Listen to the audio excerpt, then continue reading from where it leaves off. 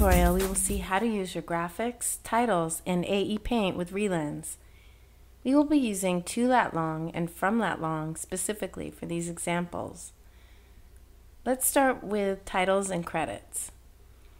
Because you don't know where the viewer actually looks at, a common practice is to repeat such elements multiple times so no matter where you turn, there it is.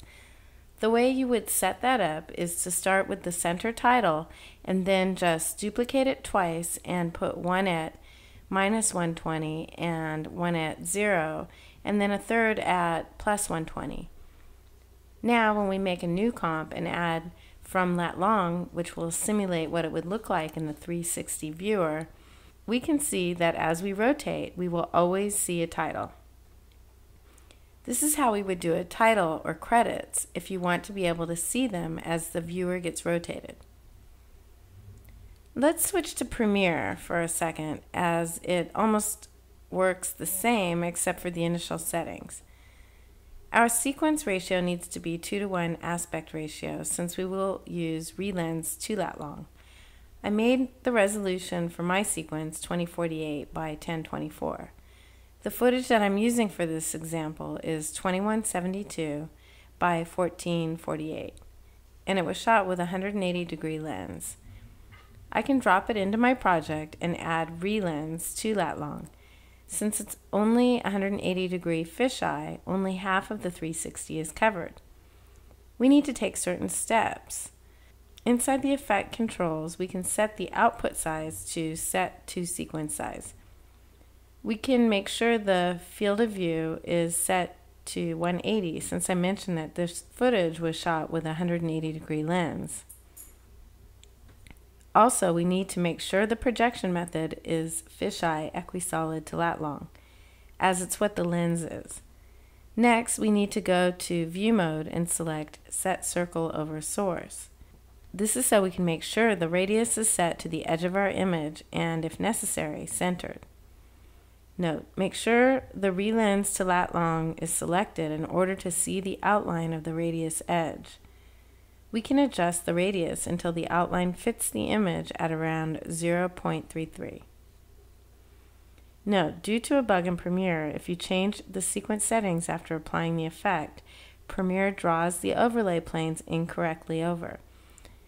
We track that and revert to draw in pixels instead and turn off the on-screen interaction. Thus, we recommend to change sequence settings before applying the effect. Since it's not going to happen all the time, the following also resets everything properly, any of these. Save project and restart Premiere, copy and paste a second version of the effect and delete the first one, or duplicate sequence and delete the original one. Now we can jump back into After Effects. You will notice that with a 180 degree field of view, there is quite a bit of area that doesn't have any image coverage. We can camouflage that with some text or a graphic of some sort.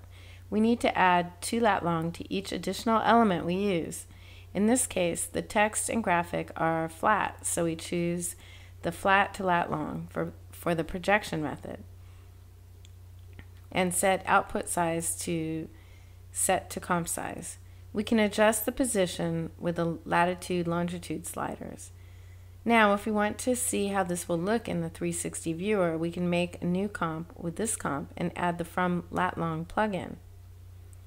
Since we only see a small window to the 360 view at one time, you can see if we navigate around, you'll see all the elements we created.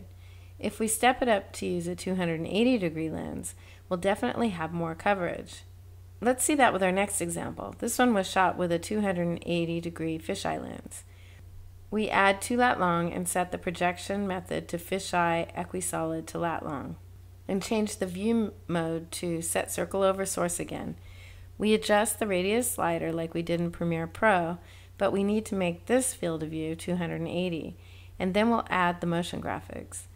The title can be a flat logo with an alpha or any text generator type of graphic.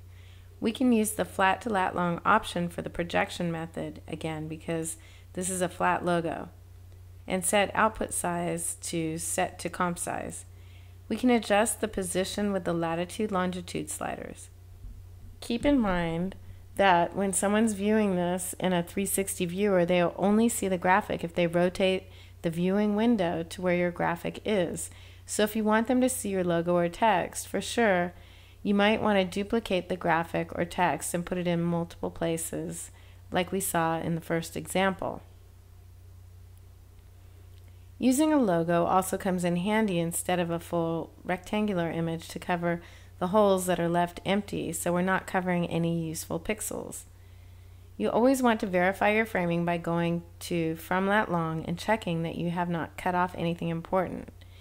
You would go back to your to lat long comp to make any changes in size or position using the latitude, longitude, and focal length sliders to adjust the vertical horizontal position and relative size. Note, make sure lat long is comp size 2 to 1 and from lat long comp is 16 by 9. Also make the from and to lat long plugin set to output to comp size. Just to recap a little here. First, we had footage that was shot with a 180 degree lens, and you saw that we needed to fill a lot of unused space because it only covers 180 degrees out of the 360. Next, we saw that 280 degrees covers more space, obviously, and is only leaving two little holes, so it's more forgiving.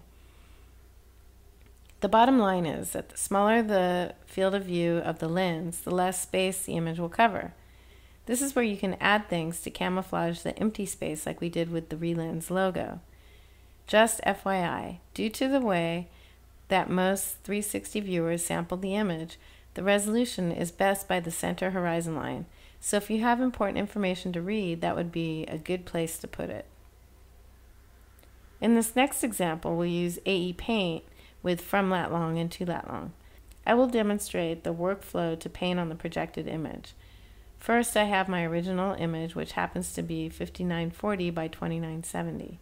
So that's the size of my comp. I added from lat long and set the output to comp size, and the projection is lat long to rectilinear. I changed the longitude and the latitude so the tower is front and center. I make sure my brush and paint windows are visible and select the paint tool to use AE Paint. Then I can double click on the image or in the menu to paint on that layer and go ahead and paint out the clock. Okay, now the fun begins. I add the original image in again and move it to the bottom. Turn off RE:Lens from lat long. Check the paint on transparent box and add RE:Lens to lat long to my original image after paint. I can change the settings now on to lat long. I make the projection method flat to lat long. Make sure the latitude matches the latitude on from lat long. We will make the longitude the opposite though, since it's minus 82.5 and to lat long, we make it plus 82.5. I make sure the set output size is set to comp size. Okay, now the painted out clock should be projected on our background layer, just like magic.